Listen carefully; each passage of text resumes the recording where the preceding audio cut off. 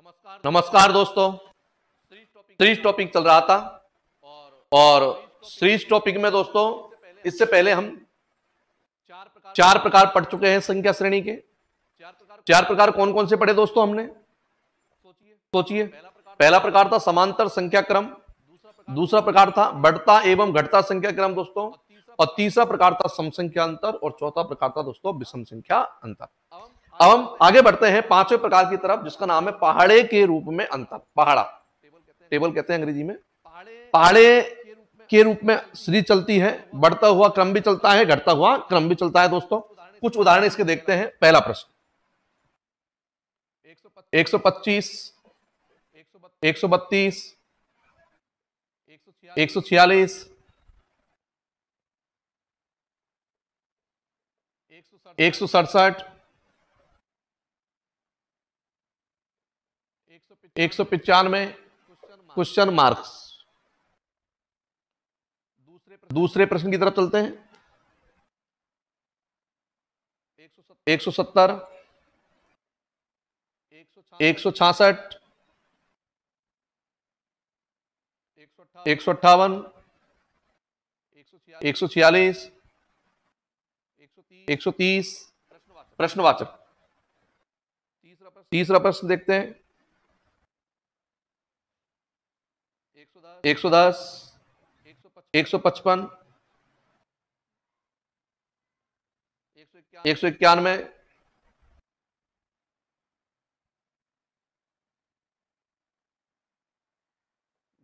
दो सौ अठारह। प्रश्नवाचक। तीन सवाल हैं दोस्तों हमारे पास में। और प्रकार का नाम है पहाड़े के रूप में अंतर। एग्ज़ाम में जो प्रश्न आता है दोस्तों, उसमें निश्चित रूप से कुछ लिखा नहीं आएगा। कि इसमें कौन सा नियम चला है? वहाँ पर बिल्कुल अपन फ्री हैंड है। हमको सोचना ही पड़ेगा कि इसमें कौन सा नियम चलेगा दोस्तों। देखते हैं। 125 के बाद 132 प्लस कितना हुआ दोस्तों? सात। इधर देखिए, प्लस कितना हुआ है दोस्तों? चौदह। इधर देखिए, प्लस कितना हुआ है? 21 और फिर देखेंगे प्लस कितना हुआ है दोस्तों? 28 सात, चौदह, इक्कीस, अट्ठाईस। आगे क्या करें दोस्तों? पहाड़ा बोल रहा है। देख लीजिए, इनके बीच का कॉन्टेक्ट देख लीजिए। इनके बीच का संबंध देख लीजिए दोस्तों। पता चलेगा सात की टेबल है, सात का पहाड़ा है, सात एक सात सात दूनी चौदह सात या इक्कीस, सात चौको अट्ठाईस। आगे बढ़ेंगे सात पंजे पैंतीस दोस्तों। पैंतीस जोड़ेंगे दोस्तों, कितना आएगा? दो सौ तीस आएगा? दो सौ तीस आएगा। यस, दो सौ तीस। अगला प्रश्न की तरफ़ चलते हैं। एक सौ सत्तर के बाद एक सौ छियासठ है, माइनस चार है, माइनस आठ है, माइनस बारह है दोस्तों। माइनस सोलह है। क्या करें? किसका पढ़ा है? सोच लीजिए, चार का पढ़ा है। चार एकम चार चार दूनी आठ, चार तीय बारह, चार चौबीस, सोलह तो चार पंजे बीस, माइनस बीस होगा दोस्तों। एक सौ दस आपका आंसर है। वन टेन एक सौ दस। इधर देखते हैं दोस्तों, प्लस पैतालीस है। प्लस छत्तीस हो गया यहाँ पर। प्लस सत्ताईस है यहाँ पर। पैतालीस, छत्तीस, सत्ताईस। आगे क्या होगा यहाँ पर? किसका पहाड़ा है? नौ का घटते हुए क्रम में। घटते हुए क्रम में, नौ पंज पैंतालीस, नौ चौकू छत्तीस, नौ तीय सत्ताईस, नौ दूनी अठारह। उल्टा हो रहा है दोस्तों, उल्टा। प्लस अठारह करेंगे तो दो सौ छत्तीस आएगा। दो सौ छत्तीस।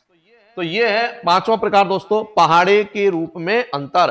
पहाड़ा बोला है उसने, पहाड़े के रूप में बढ़ता हुआ क्रम भी चलता है दोस्तों, और घटता हुआ क्रम भी चलता है। अब हम नेक्स्ट अगला प्रकार देखते हैं, छठा प्रकार, और जिसका नाम है दोस्तों, दुगना अंतर। दुगना अंतर, डबल अंतर चलेगा। पहाड़े के अंतर जो इसी प्रकार का है, यहाँ पर पहाड़ा बुला यहाँ डबल होगा। डबल कंडीशन होगी। पहला प्रश्न देख लेते हैं। सात है, दस है, सोलह है, अट्ठाईस है, बावन है और प्रश्नवाचक है। दूसरी कंडीशन देखते हैं। 109 है।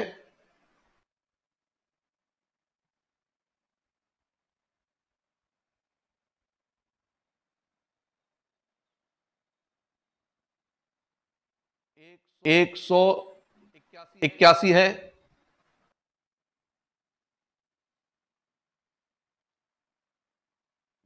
दो सौ सत्रह है। दो सौ पैंतीस है और दो सौ चवालीस है। प्रश्नवाचक है।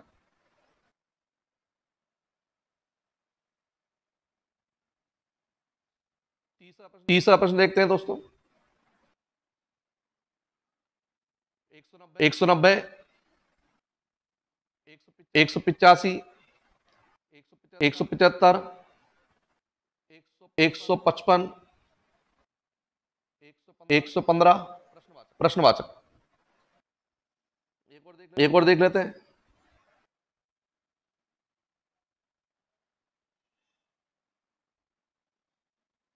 तीन सौ बीस।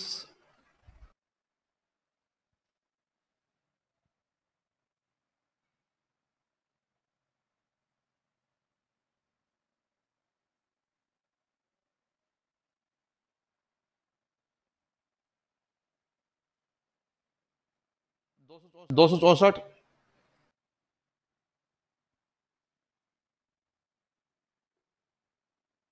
दो छत्तीस।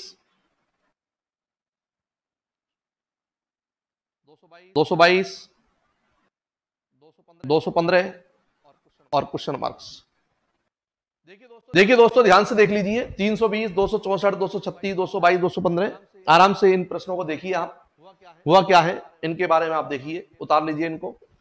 और देखिए इसमें कौन सी क्रिया चली है, किस प्रकार का कॉन्टेक्ट हो रहा है। ये सारी चीज़ें दोस्तों हमको ध्यान रखनी है।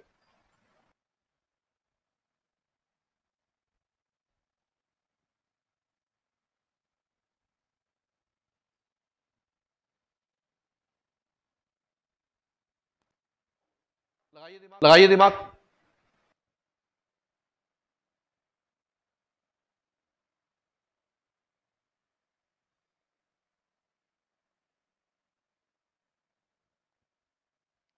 चेक करें।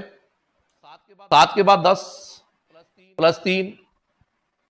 प्लस छ प्लस बारह। प्लस चौबीस।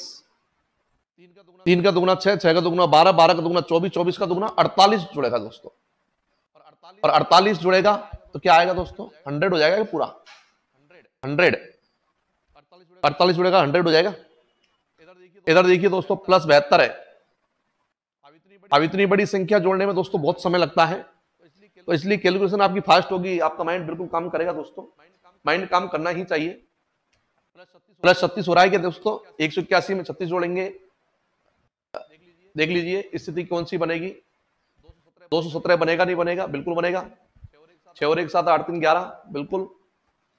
प्लस अठारह है। प्लस नौ है। अब क्या करें? क्या करें? बहत्तर का था, छत्तीस का था, अठारह का था, नौ नौ का था, साढ़े चार।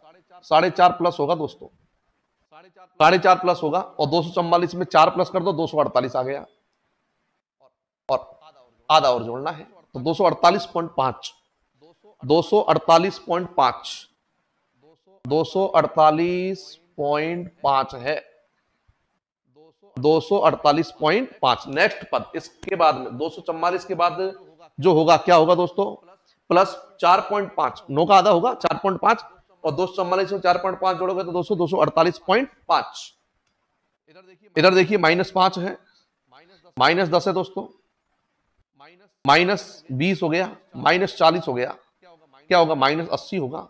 कितना आएगा दोस्तों बताओ? पैंतीस आएगा? माइनस अस्सी करोगे तो कितना आएगा? पैंतीस थर्टी फाइव पैंतीस आंसर है दोस्तों। पैंतीस आएगा, अस्सी जोड़ोगे तो? अब अस्सी में पैंतीस जोड़ के देख लीजिए, एक सौ पंद्रह आ रहा है क्या? बिल्कुल आ रहा है। इधर देखिए दोस्तों, माइनस हुआ है। कितना हुआ माइनस? छप्पन। छप्पन हो रहा है क्या? देख लीजिए, जोड़ के देख लो आप। इसमें ये जोड़ के देख लीजिए, तीन सौ बीस आ जाए तो सही है, नहीं तो गलत है। बिल्कुल सही है। माइनस अट्ठाईस है। माइनस चौदह है। माइनस सात है। तो माइनस साढ़े तीन होगा दोस्तों, आधा होगा। छप्पन का आधा अट्ठाईस अट्ठाईस का आधा चौदह चौदह का आधा सात सात का आधा साढ़े तीन। साढ़े तीन घटाएँगे। साढ़े तीन घटाओगे, कितना आएगा दोस्तों? दो सौ ग्यारह पॉइंट पाँच आएगा क्या? साढ़े तीन घटाओगे, दो सौ ग्यारह पॉइंट पाँच। दो सौ ग्यारह पॉइंट पाँच में साढ़े तीन जोड़ के देख लो, दो सौ पंद्रह आ रहा है क्या? आ रहा है तो सही है, नहीं तो गलत है। तो ये दोस्तों आपका छठा प्रकार कंप्लीट होता है दुगना अंतर। अब हम बात करते हैं सातवें प्रकार की। सातवां प्रकार क्या कहता है आपसे? सातवां प्रकार का नाम है दोस्तों, अभाज्य संख्या अंतर। अभाज्य संख्या अंतर, बहुत ही महत्वपूर्ण प्रकार है। अभाज्य संख्या अंतर, ए और भाज्य, दो चीज़ें दोस्तों यहाँ पर। ए और भाज्य, ए का मतलब होता नहीं, भाज्य का मतलब विभाजित। जो किसी भी संख्या से विभाजित नहीं होती है दोस्तों, उन्हें कहते हैं अभाज्य संख्या। अभाज्य संख्या को अंतर चलेगा। पहला प्रश्न ध्यान दीजिए। दो, तीन, पाँच, सात। क्वेश्चन मार्क्स दूसरा प्रश्न देख लीजिए। बीस, बाईस, पच्चीस, तीस और सैतीस और प्रश्नवाचक।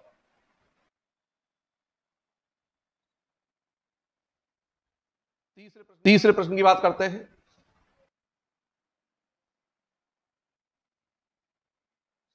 सत्रह उन्नीस, तेईस उनतीस इकतीस सैतीस इकतालीस तैतालीस तैतालीस प्रश्नवाचक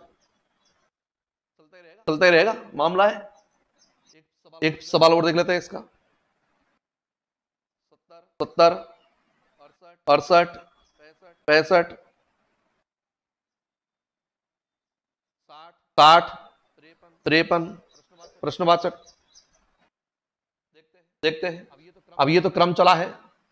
यहाँ बहुत बड़ी गलती होती है दोस्तों। अपन जल्दबाजी में नो लिख देते हैं। नो आंसर बिल्कुल गलत है यहाँ पर। दो के बाद तीन तीन के बाद पाँच पाँच के बाद सात। क्रम चल रहा है। विषम संख्या का होता तो नो आता, एक, तीन, पाँच, सात होता तो। यहाँ पर दो से स्टार्ट हुआ है। आवाज़ संख्या, सबसे छोटी आवाज़ संख्या दो होती है। दो से स्टार्ट होती है, आवाज़ संख्या है। सबसे छोटी आवाज़ संख्या दो होती है, दो के बाद तीन तीन के बाद पाँच पाँच के बाद सात तो सात के बाद क्या आएगा दोस्तों? ग्यारह। ग्यारह आंसर है इसका। नो नहीं है। इधर देखिए, प्लस दो है। इधर देखेंगे प्लस तीन है। यहाँ पर प्लस पाँच है। प्लस सात। दो, तीन, पाँच, सात। क्या करें दोस्तों? वही ग्यारह वाली कंडीशन अड़तालीस आएगा आंसर यहाँ पर। सैतीस में ग्यारह जोड़ेंगे तो अड़तालीस आंसर है। अब इधर देखें, सत्रह के बाद उन्नीस प्लस दो करें प्लस चार करें प्लस छह करें प्लस दो करोगे प्लस छह हो गया। दो चार छह वाला कॉन्सेप्ट खत्म है यहाँ पर, नींद नहीं चल रहा। तो क्या करें दोस्तों डायरेक्ट भी कंडीशन चलती है, ज़रूरी नहीं प्रत्येक प्रश्न में प्लस वाली कंडीशन ही चले। कई बार बिना प्लस के भी प्रश्न बन जाता है, बिना प्लस के प्रश्न कैसे बन गया? क्रम संख्याएँ आवाज़ संख्या का क्रम, सत्रह वाला आवाज़ संख्या कौन सी है दोस्तों? उन्नीस। उन्नीस के बाद तेईस तेईस के बाद उनतीस, फिर इकतीस, फिर सैंतीस, फिर इकतालीस, तैतालीस, फिर सैतालीस सैतालीस के बाद कौन सी आती है? त्रेपन आएगी। त्रेपन फिफ्टी थ्री इधर बात करते हैं माइनस दो। माइनस तीन माइनस पाँच माइनस सात। क्या करें? माइनस ग्यारह। माइनस ग्यारह करोगे तो बयालीस आएगा। कितना आएगा दोस्तों? बयालीस। त्रेपन में माइनस ग्यारह करेंगे तो बयालीस हमारा आंसर है। तो सातवां प्रकार दोस्तों पूरा होता है इस प्रकार से आवास संख्या अंतर। अब देखेंगे दोस्तों, आठवां प्रकार। आठवां प्रकार क्या कहता है हमसे? आठवां प्रकार। आवास संख्या को उतार लीजिए आप आवास संख्या अंतर को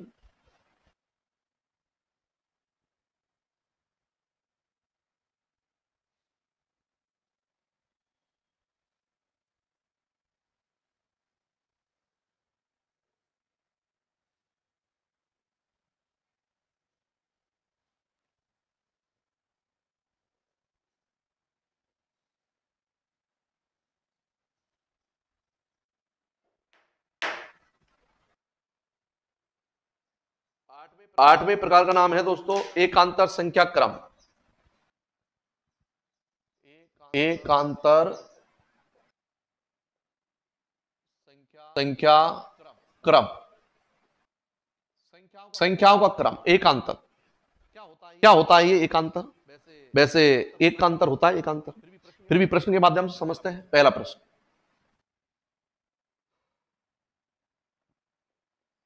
एक सौ अठारह।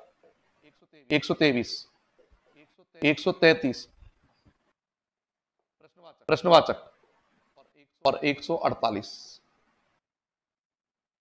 अब यहाँ पर प्रश्नवाचक ज़रूरी नहीं है कि बाद में ही दे पहले दे दिया। अब यहाँ पर पहले दे दिया। बाद की संख्या आपके पास है। तो ये भी संख्या है प्रश्न में ध्यान रखें। ये नहीं कि प्रश्न यहाँ तक ही है ये वैसे ही है। नहीं है यहाँ तक प्रश्न है। ये पूरी सीरीज़ एक जैसी चलनी चाहिए। दूसरी कंडीशन पैंतीस। बयालीस। तिरपन। साठ, इकहत्तर, अठहत्तर। प्रश्नवाचक। दो प्रश्नवाचक दे देता हूँ कभी कभी दो दो भी दे देता है। दो दे दिए इसमें। एक सौ पैंतीस। एक सौ छब्बीस। एक सौ तेईस। एक सौ चौदह। एक सौ ग्यारह। एक सौ दो। और ये दो प्रश्नवाचक दे दिए दोस्तों। इन तीन प्रश्नों के माध्यम से देखेंगे कि एकांतर संख्या क्रम होता क्या है। उतार लीजिए आप इनको एकांतर संख्या क्रम को।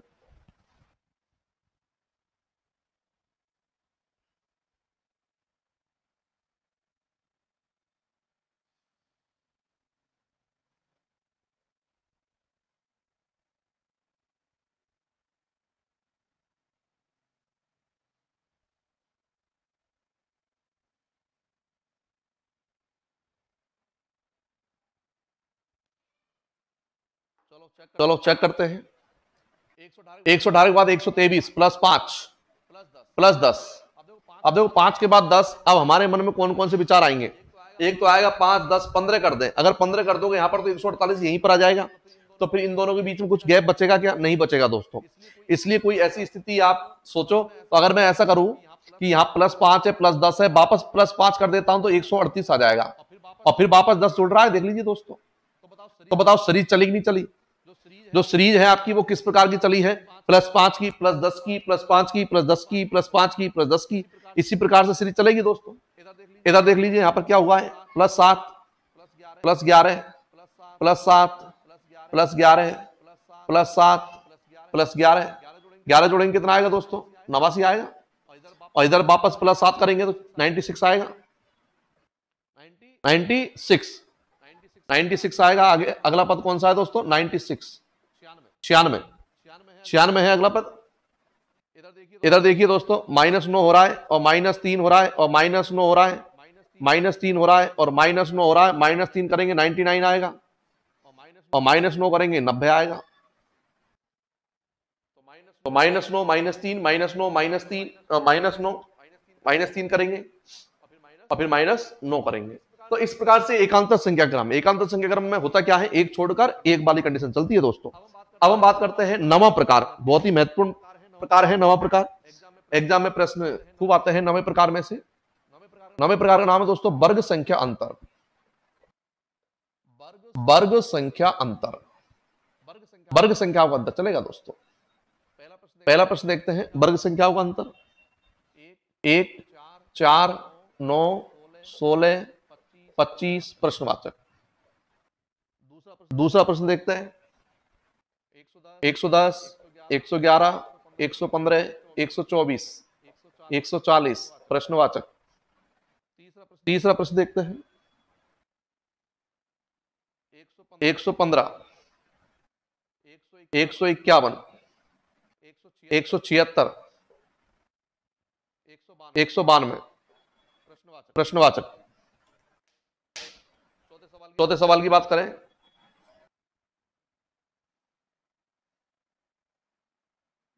दो सौ बीस, दो सौ दो सौ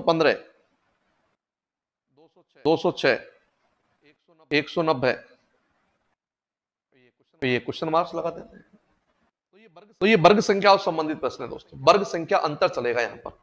वर्ग संख्या को अंतर चलेगा। आप अभ्यास कीजिए। अभ्यास करोगे दोस्तों सीरीज़ टॉपिक आपका बहुत बेहतरीन टॉपिक बन जाएगा। और सीरीज़ टॉपिक इस प्रकार का टॉपिक है, इसमें प्रश्नों को हल करने में मज़ा आता है। लेकिन मज़ा दोस्तों कब आएगा इसको प्रश्नों को हल करने में? मज़ा केवल एक ही कंडीशन में आएगा यहाँ पर कि जब हम प्रश्नों के उत्तर आते रहेंगे तो हमको मज़ा आएगा। और उत्तर नहीं आएँगे तो निश्चित रूप से हमको दिक्कत आएगी। इसलिए यहाँ पर अपन अभ्यास करेंगे। अभ्यास करोगे तो आपको सारे सवालों का उत्तर आएगा। और इसमें तो ये होता है कि जब तक उत्तर नहीं आएगा, जब तक चयन नहीं पड़ता है। लेकिन कैलकुलेशन आपकी फास्ट होती है तो। और नहीं तो अगर हमने सवाल हल नहीं किए तो हमको बहुत परेशानी भी इसमें आती है दोस्तों।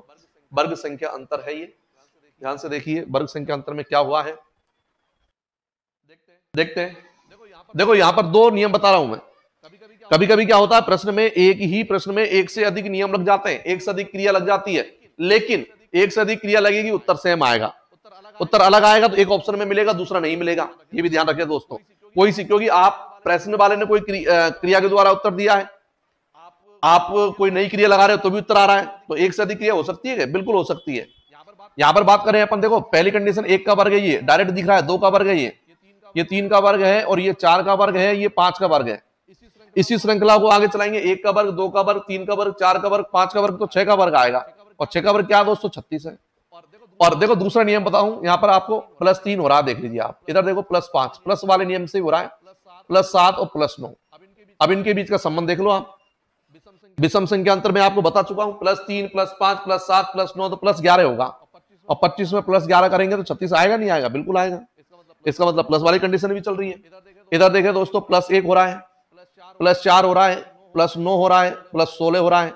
अब इनके बीच का संबंध तो आपको पता चली गया ऊपर वाले प्रश्न में ये एक का वर्ग है ये दो का वर्ग है ये तीन का वर्ग है ये चार का वर्ग है। तो आगे यदि बढ़ेंगे तो वही पाँच का वर्ग मतलब पच्चीस जुड़ना चाहिए दोस्तों। पच्चीस जुड़ेगा तो कितना आएगा यहाँ पर? एक सौ पैंसठ। वन सिक्सटी फाइव इधर देखते हैं। दोस्तों कितना जुड़ा है? छत्तीस जुड़ गया। फिर पच्चीस जुड़ा है फिर सोलह जुड़ा है। अब यहाँ पर देखते हैं, हुआ क्या है? आपको पता छह का वर्ग है, ये पाँच का वर्ग है, ये चार का वर्ग है। तो किसका वर्ग चलेगा दोस्तों? तीन का वर्ग नौ और नौ जुड़ेगा दोस्तों? दो सौ एक आएगा? दो सौ एक। आठ जुड़ेगा तो दो सौ, नौ जुड़ना है, दो सौ एक। इधर देखें, माइनस एक है, माइनस चार है, माइनस नौ है, माइनस सोलह है। ये देख लीजिए, एक का वर्ग है, ये दो का वर्ग है, ये तीन का वर्ग है, ये चार का वर्ग है। अब करेंगे पाँच का वर्ग पच्चीस और पच्चीस घटाएँगे दोस्तों। पच्चीस घटाएँगे कितना आएगा? एक सौ पैंसठ आएगा क्या? एक सौ पैंसठ। पाँच का वर्ग घटाएँगे एक सौ पैंसठ। बिल्कुल सही उत्तर है। तो ये दोस्तों, ये नवा प्रकार है वर्ग संख्या अंतर। और जब वर्ग संख्या अंतर का प्रश्न है आपके पास में तो घन संख्या अंतर का तो होना ही चाहिए ना। साथ में अपन दसवां प्रकार और अंतिम प्रकार है पहले का। दोस्तों, अभी तो पहला प्रकार चल रहा है। पहले का अंतिम प्रकार है दस प्रकार। दसों प्रकार में हमने प्लस माइनस ही देखा है। अभी तक गुणा भाग नहीं देखा है। गुणा भाग अगली कंडीशन देखेंगे। घन संख्या अंतर। घन संख्या अंतर। इतने दस प्रकार पढ़ने के बाद में आपको लगेगा कि आप सीरीज़ के पचास परसेंट प्रश्नों के उत्तर दे सकते हो आप। पचास परसेंट प्रश्नों के उत्तर दे सकते हो दस प्रकार पढ़ने के बाद। पहला प्रश्न, एक, तीन, एक, आठ, सत्ताईस, चौसठ, एक सौ पच्चीस, प्रश्नवाचक। दूसरा प्रश्न, एक सौ दस, एक सौ ग्यारह, एक सौ उन्नीस, एक सौ छियालीस दो सौ दस। प्रश्नवाचक। तीसरे प्रश्न की तरफ़ बढ़ते हैं। तीसरे प्रश्न में क्या हुआ है? पाँच सौ बीस। पाँच सौ उन्नीस। पाँच सौ ग्यारह। चार सौ चौरासी। चार सौ बीस। दो सौ पिचानवे। प्रश्नवाचक।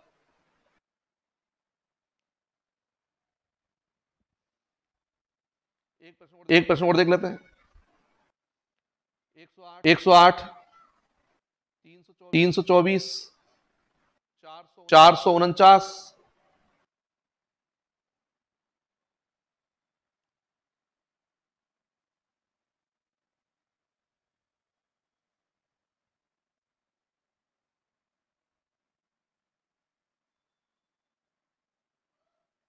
पाँच सौ तेरह पाँच सौ चालीस। प्रश्नवाचक। उतार लीजिए दोस्तों। देखिए वह क्या है? आराम से देखिए प्रश्न को।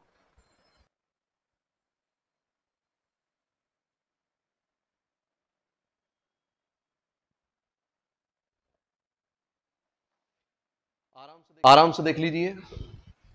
ये आपका पहला प्रकार कंप्लीट होता है। पहले के दस प्रकार थे। दस प्रकार। कौन कौन से थे? आप थोड़ा माइंड में आपको रखना है।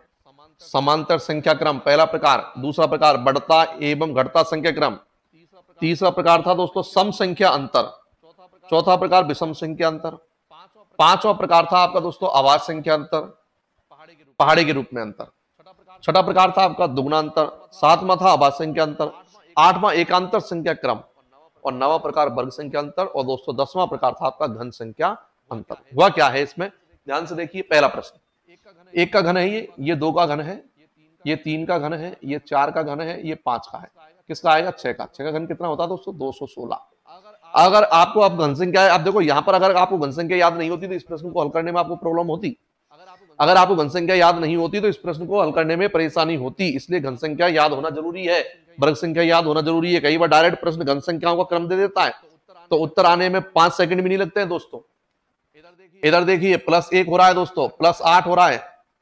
प्लस सत्ताईस हो रहा है, प्लस चौसठ हो रहा है। अब इसमें हुआ क्या है ये? ये एक का घन है, ये दो का घन है, ये तीन का घन है, ये चार का घन है। अब क्या करें? पाँच का घन 125 जुड़ेगा दोस्तों। 125 जुड़ेगा तो 335 है दोस्तों यहाँ पर। 335 इधर क्या करें? माइनस एक करें, माइनस आठ करें, माइनस सत्ताईस करें, माइनस चौसठ करें दोस्तों। माइनस एक सौ पच्चीस हो रहा है। एक सौ पच्चीस, देख लीजिए। और एक का घन, दो का घन, तीन घन, चार घन, पाँच घन तो छह का घन माइनस दो सौ सोलह, दो सौ सोलह सेवनटी नाइन सेवनटी नाइन और इधर देखेंगे दोस्तों प्लस दो सौ सोलह प्लस एक सौ पच्चीस प्लस चौसठ प्लस सत्ताईस। क्या हुआ इसमें? छह का घन प्लस पाँच का घन प्लस चार का घन, तीन का घन और दो का घन, यानी कि आठ प्लस होगा। और आठ प्लस होगा दोस्तों कितना आएगा? पाँच सौ अड़तालीस आएगा क्या? पाँच सौ अड़तालीस। छह का घन, पाँच का घन, चार का घन, तीन का घन, दो का घन। तो इस प्रकार दोस्तों हम कह सकते हैं कि सीरीज़ टॉपिक में परेशानी नहीं है, एक ही परेशानी है कि कैलकुलेशन कैलकुलेशन आपकी फास्ट होनी चाहिए। अब कैलकुलेशन फास्ट हो, इसके लिए क्या करें? जड़ी बूटी नहीं है। हॉर्लिक्स बॉनबिटा से काम नहीं चलेगा कैलकुलेशन फास्ट नहीं होगी। कैलकुलेशन फास्ट करने के लिए एक ही तरीका है और फ्री का तरीका है, वो है अभ्यास। प्रैक्टिस करो। प्रैक्टिस ज़्यादा ज़्यादा कीजिए दोस्तों और प्रैक्टिस करोगे तो आपको सीरीज़ टॉपिक में दिक्कत नहीं आएगी। आगे के वीडियो में दोस्तों हम देखेंगे गुणा वाली क्रियाएँ किस प्रकार की आती है, भाग वाली किस प्रकार की आती है, नए नियम से संबंधित प्रश्न किस प्रकार से आते हैं, ये सारी चीज़ें जो है वो अगले प्रकार में अगले वीडियो हम देखेंगे दोस्तों। तब तक के लिए नमस्कार बहुत बहुत धन्यवाद और आपने अगर वीडियो को लाइक नहीं किया तो तुरंत वीडियो को लाइक करें और चैनल को सब्सक्राइब नहीं किया सब्सक्राइब करें, जिससे सभी वीडियो आप तक पहुँच सके। बहुत बहुत धन्यवाद।